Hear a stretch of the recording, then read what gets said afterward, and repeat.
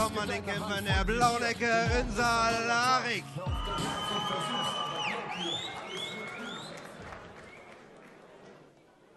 Ladies and Gentlemen, ich darf Ihnen die Kämpfer kurz vorstellen. Der Mann in der roten Ecke hat einen sehr weiten Weg. Er kommt aus Tansania. Seine Empfehlung? 34 Kämpfe, 27 Siege, 15 durch K.O. Meine sehr verehrten Damen und Herren, Ihr Applaus bitte an Francis Chicker.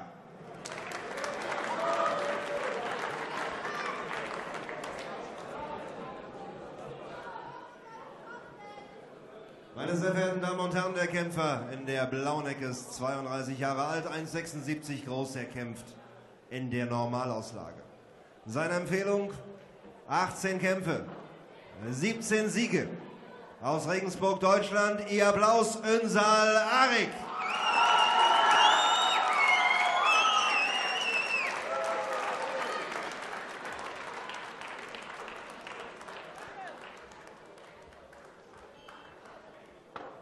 Sehr verehrte Damen und Herren, unparteiischer in diesem Kampf ist Herde Kroos aus äh, Belgien. Der Kampf ist angesetzt auf 12 Runden, nahe 3 Minuten. Supermittelgewicht ist das Limit, die Klasse bis 76,203 Kilogramm.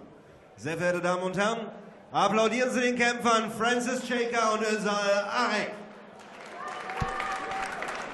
So. Wir wissen, worum es geht. Ünsal Arek gegen Francis Cheka. Wenn ich eine Prognose abgeben müsste, würde ich sagen, auch dieser Kampf geht nicht über die volle Distanz. Arik, ja, schon so eine kleine K.O.-Maschine. Natürlich noch nicht gegen ganz große Gegner und ganz große Namen im Ring gestanden, aber alle seine 17 Siege hat er vorzeitig gefeiert. Eine Niederlage auch schon im Kampfrekord, sehr früh in seiner Karriere. Wollen wir mal schauen, wie er sich gegen Francis Checa so anstellt. Vielleicht noch eine Bemerkung beim Walk-In, das T-Shirt, das er getragen hat. Einigkeit, Fragezeichen, Freiheit. Ich kämpfe für mein Recht. Ünsal Arik auch ein Mann auf einer Mission. Es geht da um Besuchsrechte der eigenen Kinder, wenn man eben getrennt lebt, also als quasi Vater, der sein Kind nicht sehen kann.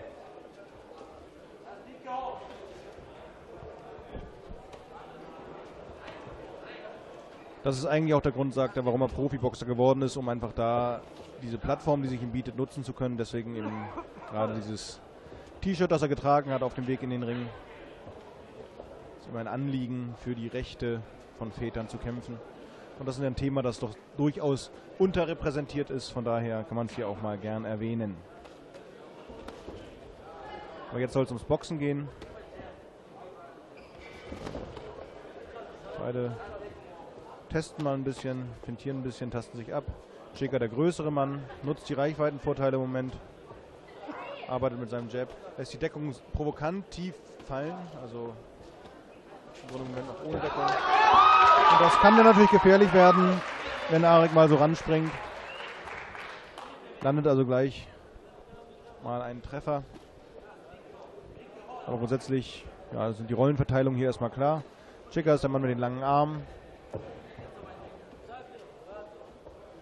Der von außen das Geschehen bestimmt.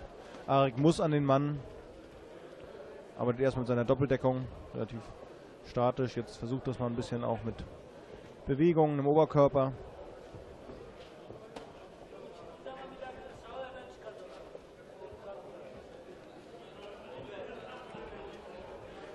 Beeindruckend natürlich auch unser Ariks blaue Strümpfe.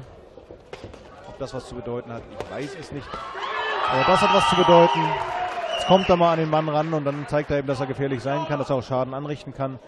Das muss Cheka natürlich vermeiden, das muss die Taktik sein des Tan Manns aus Tansania.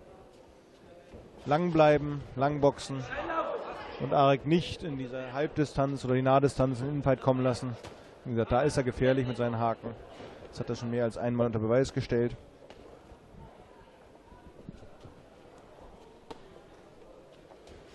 Chika macht das über weite Teile ganz ordentlich. Arik sehr, sehr abwartend, sehr verhalten zu Beginn. Also ganz anders, als wir eben Russland Schagayev gesehen haben.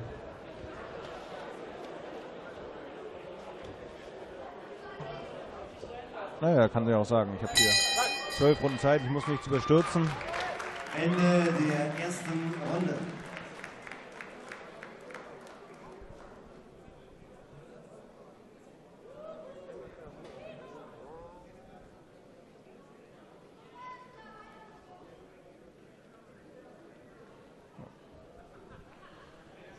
Beide Ecken scheinen noch ganz zufrieden zu sein. Ganz ruhig, ganz entspannt. Können wir mal sehen, die Kombination, die eine, die da ins Ziel kam. Aber Francis Chicker scheint schon nicht ganz so zufrieden zu sein. Seconds out. Betreuer wird aus dem Ring. Seconds out, please. Blue corner, seconds out, please. Thank you. Ünsal Arik immer sehr, sehr ruhig und entspannt im Ring. Runde, Round 2. Strahlt immer eine große Souveränität aus.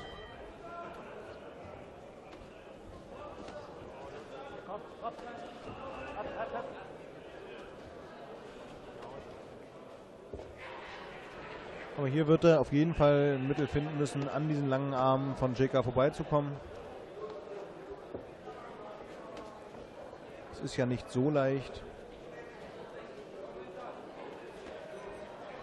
Wobei natürlich der Chicker, gesagt, sehr, sehr provokant mit weit unten hängenden Armen kämpft und das öffnet natürlich die Chancen für solche Konter wie jetzt eben gesehen. Also der linke Haken zum Kopf.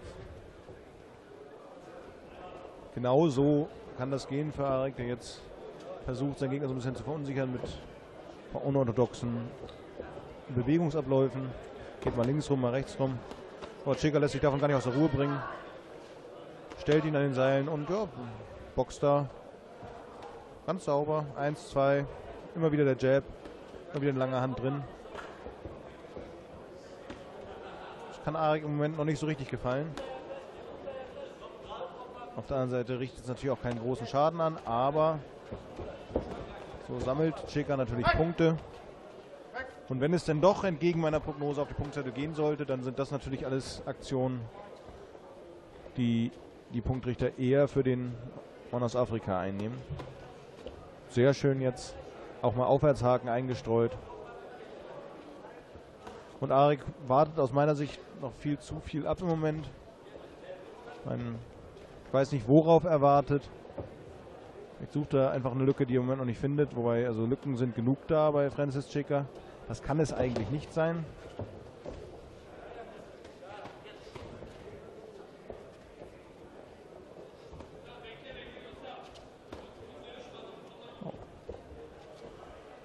Also wenn er nicht schlagen will, der Ünsal Arek, dann wird er hier auch nicht gewinnen. Das wäre jetzt mal meine Prognose. Aber er wartet nur auf den richtigen Moment offensichtlich, dann ranspringen, dann diese kurzen Sprints. Sowas, was im Training sehr viel gemacht wird. Und bei Schützlingen von Uli Wegner zum Beispiel immer wieder beobachten, dass sie in bestimmten Phasen der Runde dann explodieren, einen Sprint anziehen.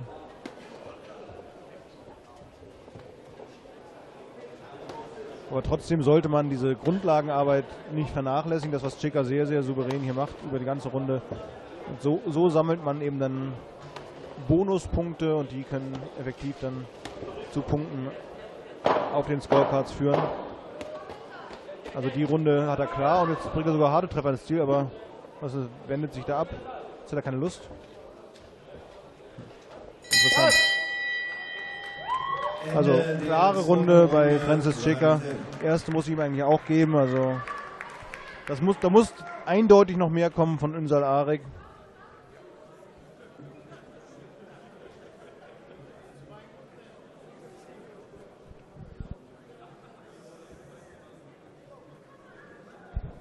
Da war dieser kurze Sprint nochmal zu sehen, aber dann auch sehr ungestüm und unsauber, trifft nicht voll. Und das reicht natürlich nicht, die Runde zu gewinnen. Dafür ist Chica wirklich the knocking, it's 10 seconds before the end of the round. When you hear the knocking. Ya, ya. Anakuambia kengele. Kisikia Ja, da wird, tusimame jetzt, wurde jetzt gerade Francis Chica nochmal erklärt, dass das wird Klopfen aus 10 dem Sekunden Ring. vor Rundenende bedeutet und dass sie ja nicht aufhören soll zu boxen, nur weil es irgendwo klopft. Das ist, schien nämlich eben für Verwirrung zu sorgen bei ihm. Ringfrei, Runde 3, Round 3. Ich kann aus persönlicher Erfahrung sagen, wenn es bei mir zu Hause klopft, höre ich auch immer auf zu boxen. Aber das ist eine andere Geschichte.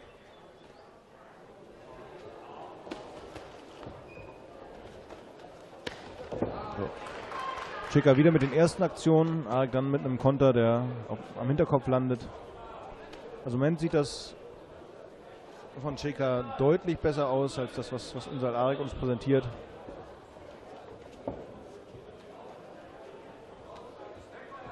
Natürlich ist da jetzt nicht die letzte Entschlossenheit drin in Aktionen von Cheka. Aber wie gesagt, um Punkte zu sammeln reicht es in jedem Fall. Auch wenn da viel auf die Deckung geht. Aber trotzdem, Aktivität ist schon was wert. Das war allerdings jetzt ein sehr sauberer Treffer von Arek mal. Im Konter schön rechten Haken. Auch da kommt er so durch.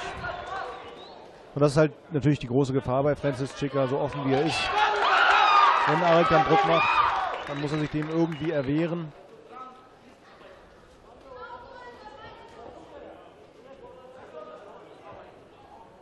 Und bei Arek ist dann eben die Frage, warum man nicht noch viel mehr Druck macht. Noch viel mehr ranspringt an den Mann. Denn in dieser Situation sieht der Chick auch nicht gut aus. Er sieht gut aus, wenn er in seiner Distanz sein kann. Schön gerade boxen. Jetzt mal ein bisschen zum Körper. Nochmal davon geht natürlich viel auf die Deckung. Aber trotzdem ist es halt Aktivität.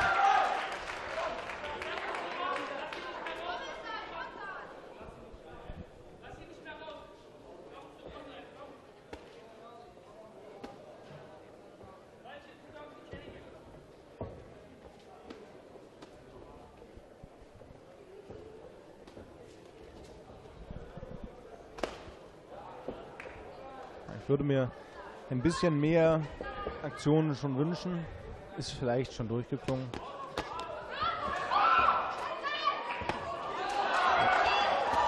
Wenn Ark immer mitschlägt, dann kommt er ja auch ran. Denn, wie gesagt, eine wirkliche Deckungsarbeit hat der Francis Chica gar nicht. Deswegen kann ich mir gut vorstellen, dass irgendwann mal ein Schlag doch so deutlich sitzt und so gut drin ist, Westafrikaner zu Domus hier gerade wieder eine Linke, die hart im Ziel, ihr Ziel findet.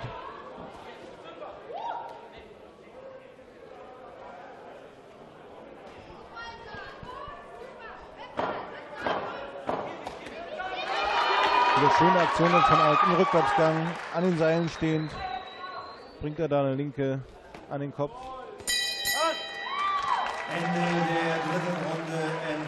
Aber trotzdem, auch wenn er hier zum, zum runden Ende hin nochmal ein paar schöne Aktionen hat, reicht das insgesamt einfach nicht. Ja, da war eine rechte im Ziel. Hat Schick aber auch jetzt noch nicht ernsthaft durchgeschüttelt. Auch da die Konter, das war eine ganz gute Aktion.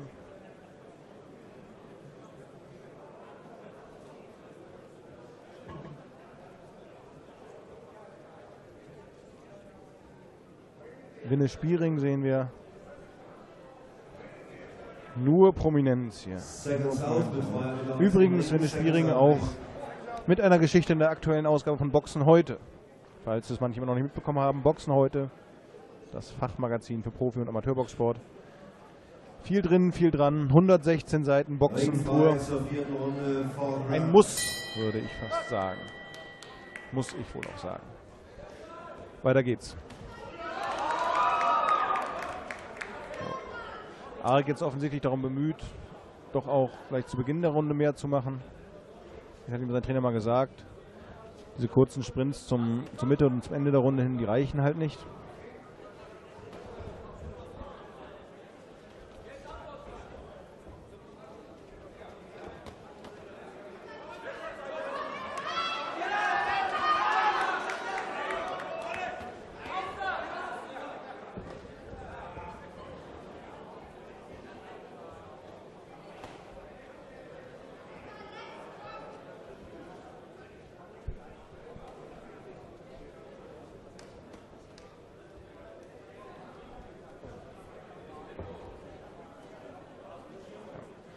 Auch hier wieder, ich meine, die Einordnung ins internationale Geschehen muss man dann doch sagen, das Supermittelgewicht ist natürlich eine der Gewichtsklassen, die zurzeit am allerbesten und am allerstärksten besetzt sind. Erwartet uns ein großer Kampf, unter anderem natürlich morgen aus deutscher Sicht. Arthur Abraham gegen Robert Stieglitz in Magdeburg. Weltmeisterschaft. Ein noch wesentlich größerer Kampf dann am 25. Mai in London. Mikkel Kessler gegen Karl Fortsch. Ein lang ersehntes Rematch. Dazu gibt es dann natürlich noch den eigentlichen Kingpin in dieser Gewichtsklasse, Andre Ward in den USA. Also da laufen schon sehr, sehr viele sehr gute Boxer rum im Supermittelgewicht. Da haben die beiden hier noch, äh, nee, noch einen sehr weiten Weg zu gehen, wäre tatsächlich falsch. Also da werden sie nicht ankommen. Aber, wie gesagt, immerhin der IBF Intercontinental Titel hier auf dem Spiel. Und der bedeutet dann eben auch einen garantierten Platz in den Top 15 in der Weltrangliste. Und damit in der Theorie zumindest eine Herausforderungsfeld auf den Weltmeister.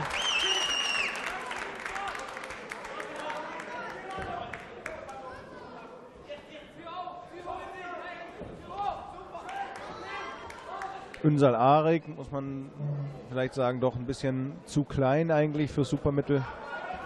Sieht das, dass er eben hier Probleme hat. Dann, wenn Chica lang bleibt, jetzt, wenn er natürlich so rankommt an den Mann, wenn er am Mann explodieren kann, dann sieht er gut aus. Aber da muss er eben auch hinkommen.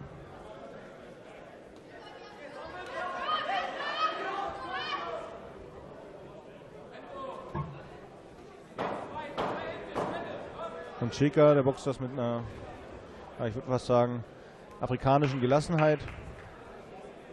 Nach wie vor eben tief hängende Hände. Sticht den Jab nicht aus der Doppeldeckung raus, sondern zieht ihn von sehr weit unten rein. Aber solange die Jabs kommen.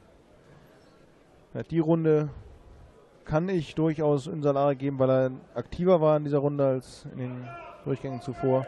Trotzdem muss der natürlich noch mehr machen. Und also meine, meine erste Prognose, so viel gebe ich schon mal zu, mit einem sehr kurzrundigen Kampf, die war schon mal nix.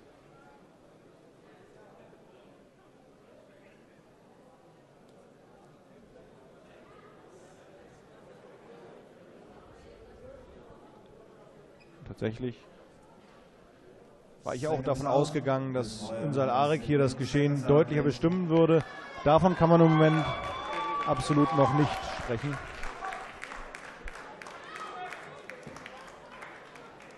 Ringfrei zur fünften Runde, Round 5.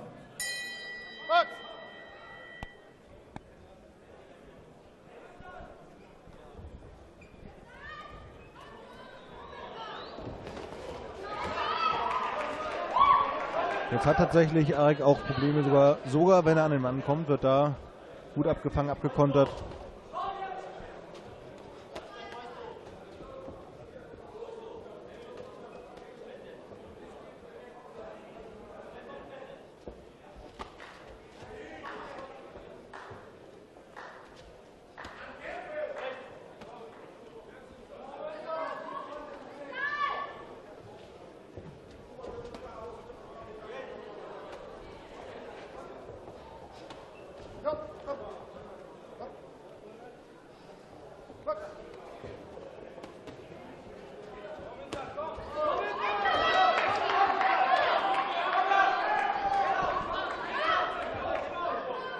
Geschichte des Kampfes ist bisher sehr, sehr schnell erzählt.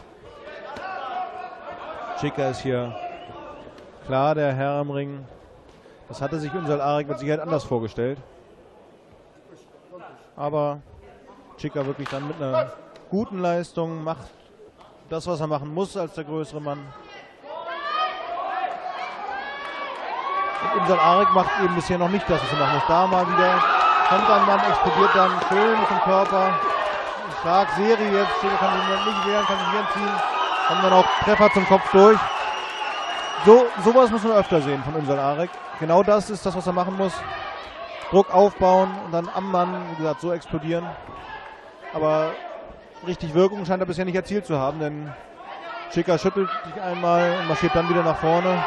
und antwortet jetzt mit seiner eigenen Serie und unser jetzt mit dem Rücken zum Seil. Also, wie gesagt, vielleicht, vielleicht hat unser Arik seinen Gegner da noch das unterschätzt. Er weiß es. Ich wage jetzt schon mal die Prognose, dass es nach Punkten knapp werden wird für unser Arik und er ja, noch in der zweiten Kampfhälfte auf jeden Fall deutlich mehr machen muss.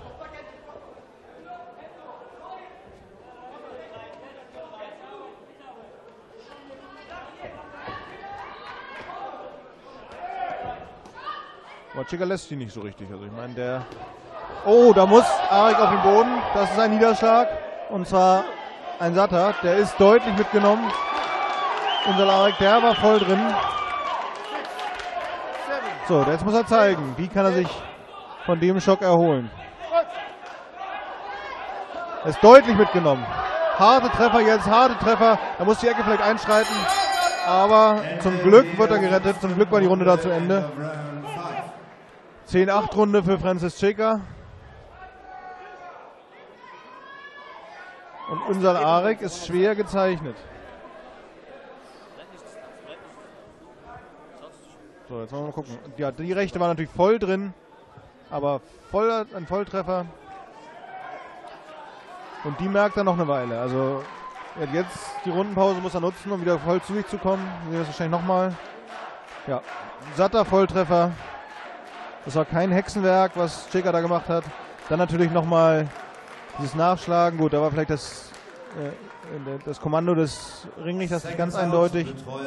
Das kann passieren im Eifer des Gefechts. Aber ja, man sieht, sieht eindeutig, also den hat er gespürt. Den spürt er wahrscheinlich immer noch. Wollen wir mal schauen. Bin ich sehr gespannt, wie unser Larek jetzt aus der Pause kommt. Ringfrei zur sechsten Runde, Round 6. Und ich denke, Francis Schicker, der hat jetzt Blut geleckt. Der, wird, ja, der macht natürlich genau da weiter. Harte Treffer, harte Treffer, harte Treffer. Da muss irgendwann der Ringrichter dazwischen. Ja, jetzt kommt er wieder raus zumindest. Schicker macht Druck, Schicker macht Dampf.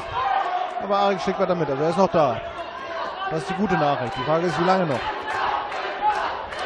Ist Schicker jetzt kein K.O.-Monster mit Sicherheit. Aber trotzdem, wenn er sich den Gegner so hinstellen kann und dann aus vollen Rohren feuern, das kann nicht lange gut gehen. Wieder aufwärts, wieder ein schöner Treffer. Unser Arik steht nur noch da, lässt das über sich ergehen. Dann schlägt er zurück. Muss man sehen, was passiert.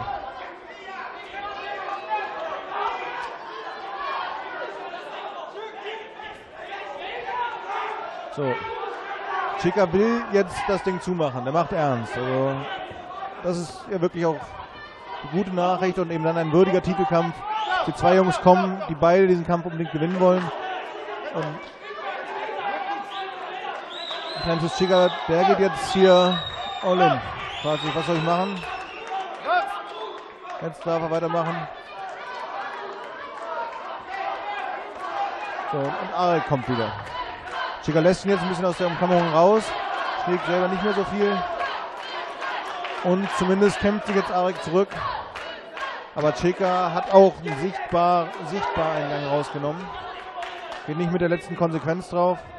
Jetzt kommt er wieder. Und die Deckung von Arek, die ist löchrig geworden. Er muss verdammt aufpassen, dass das nicht schief geht hier.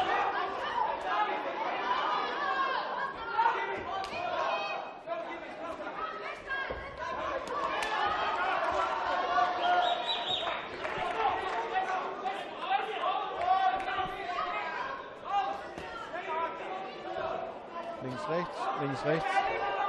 Ganz einfache Mittel, wie gesagt, alles kein Hexenwerk, was Francis Chica boxt. Aber es reicht eben im Moment, denn unser Arik, der spürt die bisherigen Runden und das eindeutig. Kopf in den Beinen, sieht das erst nicht mehr so frisch.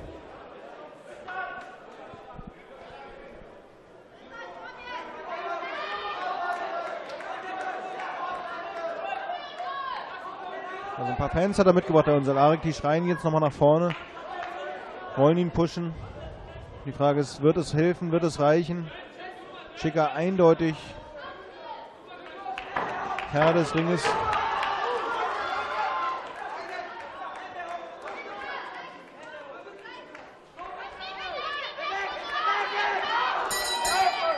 Ende der sechsten Runde, End of Round 6. So, sechs Runden rum. Gerade mal Halbzeit und unser Arik sieht nicht so aus, als wollte er hier zwingend noch weitermachen. Da sieht man nochmal aus der Anfangsphase der Runde. Kommt Arik gar nicht richtig raus. Dann An mal dieser ein Konter. nochmal die Bitte der er sich schön befreit. ein Fahrzeug mit dem Berliner Kennzeichen BOX blockiert vorne den Eingang. Das muss da unbedingt weg aus dem einfachen Grund, das ist die Krankenhauszufahrt. Also bitte, der Besitzer von dem Fahrzeug mit dem Kennzeichen BOX, bitte das Fahrzeug da wegnehmen. Dankeschön. Seconds out, Betreuer wird aus dem Ring.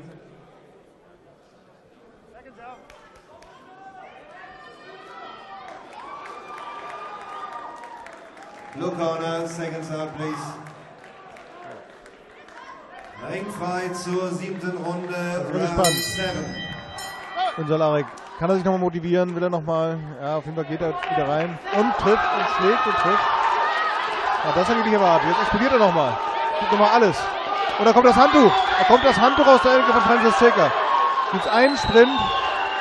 Einen Sprint von unser Arik. Und die Ecke von Francis Zeker wirft das Handtuch. Der Boxer ist nicht einverstanden mit dieser Entscheidung. Er ist nicht einverstanden mit diesem Abbruch. Aber Ganz ehrlich, also da, da hat unser Arek uns nochmal überrascht. Den Mut der Verzweiflung nach vorne gestürmt, alles aus sich rausgegeben, aber Francis Schicker fühlt sich betrogen. Ja, nee. Der ist nicht zufrieden. Aber das, da muss er sich bei seinem Trainer bedanken. Den Kampf hat nicht er verloren, den Kampf hat der Trainer für ihn verloren. Schade. Wirklich schade. Aber tatsächlich auch Hut ab für unseren Arek, dass der nochmal dieser Energieleistung zurückgekommen ist. Ladies and Gentlemen, nochmal der dringende Hinweis, das Fahrzeug mit dem amtlichen Kennzeichen BOX verschwindet da vorne bitte ganz schnell, das blockiert hier die ganze Zufahrt.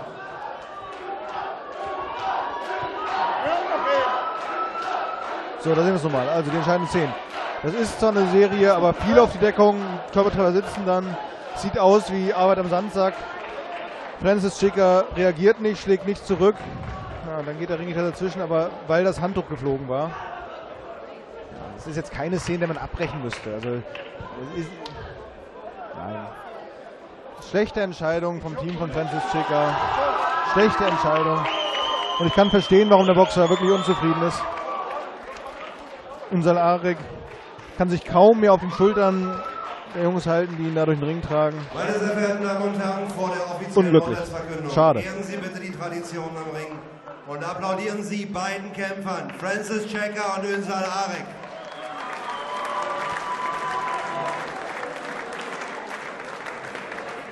Es gibt noch Diskussionen im Ring jetzt. Ja, ich hoffe mal, dass es gegenseitig Respektbekundungen sind. Ich bin mir allerdings nicht sicher. Nee. Francis Schicker. Er will am liebsten weitermachen oder will er gleich gehen?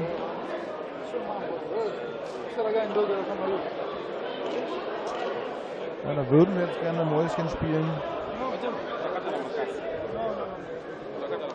Ja, glücklich sein kann er natürlich mit dieser Entscheidung nicht. Und glücklich sein wird auch unser Arik nicht mit seiner Leistung, der weiß ganz genau. Ja, Isso Au. é true. Be- Betrug. Betrug. Ja. Das habe jetzt nicht ich gesagt, sondern das kam aus dem Publikum. Aber letzten Endes, wenn der Boxer hier betrogen wurde, dann von seinem eigenen Trainer. Denn der hat das Handtuch geschmissen. Schicker würde wahrscheinlich gerne weinen, aber lacht dann doch Der lieber. Kampf endete nach 15 Sekunden in der siebenten Runde. 15 Sekunden. Das Team Rot gab auf. Naja. Und somit geht der Aber Sieg in die blaue Ecke. Francis Schicker lacht wieder, Arek. freut sich wieder. Gleichbedeutend mit dem Titellisten Interconti Supermittelgewichtsnachversion der IBF.